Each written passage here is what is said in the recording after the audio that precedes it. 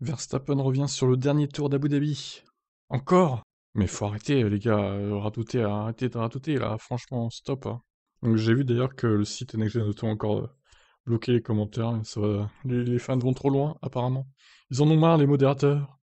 Dans un documentaire sorti cette semaine intitulé Verstappen le lion déchaîné, le néerlandais évoquait ce fameux dernier tour, dont nous parlerons encore dans les décennies à venir. Ah, c'est quoi ce documentaire? Et ça sort d'où là? Je vais regarder sur internet, tiens. Je sais pas, j'ai pas trouvé. Bon. Bref. Lewis ne s'attendait pas à ce que je, dé- dépasse à cet endroit, déclarait Verstappen, qui avait dépassé la Mercedes juste avant les deux lignes droites proposant le DRS. Nous avions moins d'appui sur la voiture ce week-end-là, donc avantage de vitesse de pointe. Je voulais donc me retrouver devant, car même sans le DRS, je pouvais défendre. Même s'il était parvenu à revenir à côté de moi, il n'avait pas pu dépasser à cause de notre avantage de vitesse de pointe. Avec l'adhérence que j'avais, j'ai choisi d'attaquer ce virage et de défendre dans les suivants. Si la situation du pilote Red Bull semblait désespérée avant l'accident de Latifi, son équipe, ayant d'ailleurs été très nerveuse et très silencieuse au moment d'aborder le dernier tour, le champion du monde n'a jamais voulu rendre les armes. Je savais que je ne comblerais pas un écart de 11 secondes en 5 tours. Mais je me suis dit, je ne vais pas, je ne vais pas abandonner maintenant et piloter lentement jusqu'à la ligne d'arrivée. Je vais tout donner et ne rien laisser paraître facile.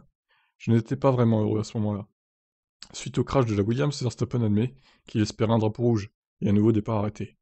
Il en a finalement pas eu besoin. Alors honnêtement, j'aurais préféré, moi aussi, mais bon, au final, euh, effectivement, il a dépassé euh, avec ses pneus frais euh, sans difficulté. J'espère un nouveau départ, c'était une zone délicate pour extraire la Williams, mais il n'y a pas eu de drapeau rouge, juste un tour pour décider de tout. Et oui, un tour qui se joue, une saison qui se joue en un tour plutôt. Magnifique, magnifique, quelle saison, incroyable, hein Voilà pour cette déclaration de Lewis Hamilton. Si vous avez d'autres infos concernant ce reportage Verstappen le lion déchaîné, j'ai pas trouvé sur Google, donc dites-moi en commentaire où ça a été diffusé ce truc-là. Allez, ciao ciao.